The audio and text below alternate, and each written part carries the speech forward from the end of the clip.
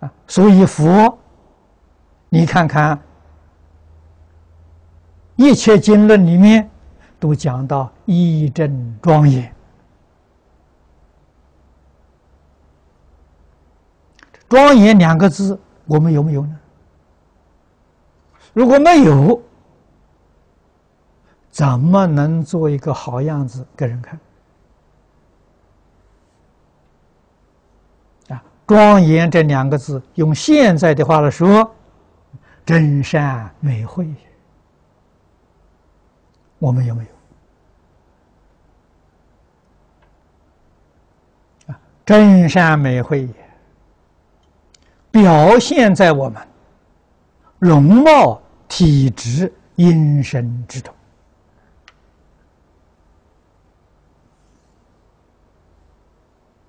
啊，那我们想一想，我们在日常生活当中表现的是什么？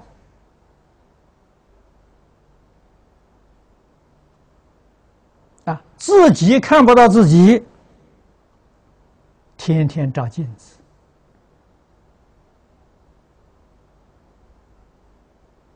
照镜子是修学很好的一种方式。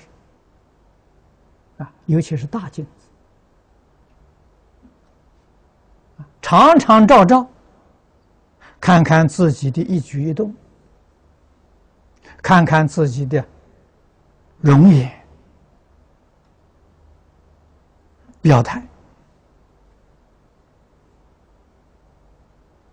啊，用这个方法来修正自己的过失啊，求别人教你难了，谁也不肯得罪人。啊，谁都希望做好人呐，何必跟人家做冤家、做对头呢？没有人教我们，啊，尤其在今天这个社会，啊，人家在旁边看笑话，在背后论是非。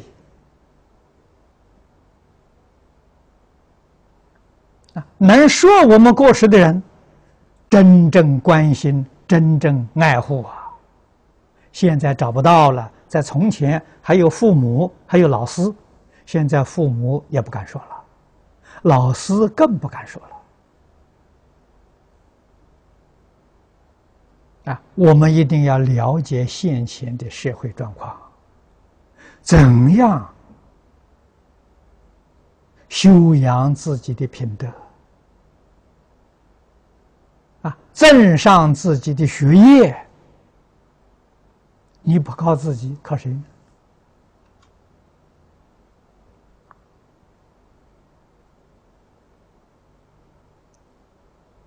啊，现在物质文明发达，啊，我们买一面大的镜子，买来做什么用呢？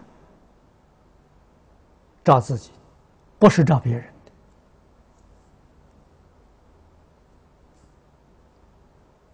的。啊，会修行的人看到别人，就能够回光返照啊，想到自己，这是好事情，这是正确的。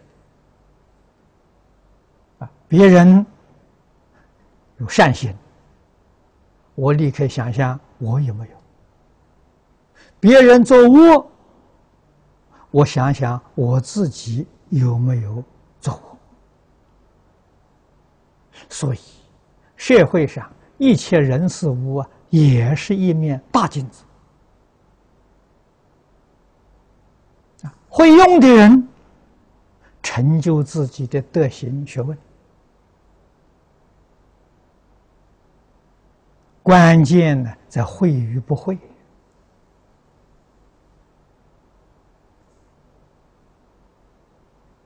啊人与人之间，一个印象啊，就是跟你见面啊，你的容颜，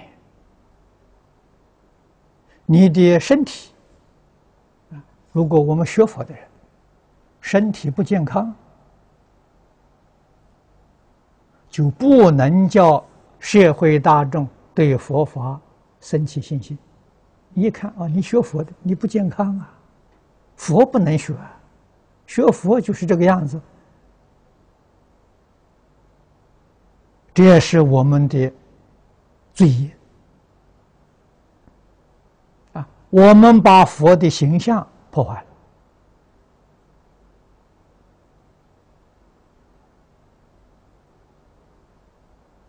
了。啊，佛法一报正报多庄严呐！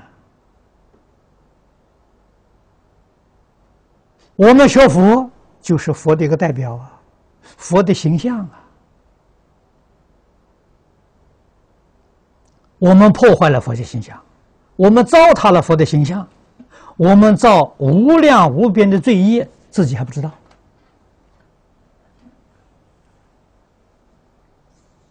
这个很可怕啊。所以调心、调身，佛在经论里面讲的很多很多，尤其是戒经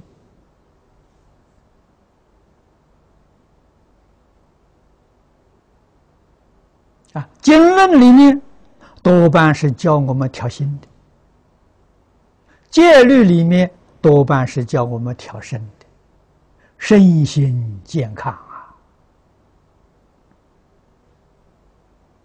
远离病苦啊！啊，这社会大众才需要，才欢喜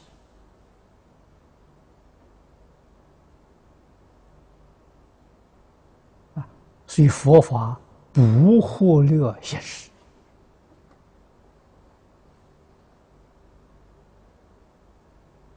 啊！我们要有美好的容颜接待大众。要有健康的心态，展示给别人看这个就是接引广大众生。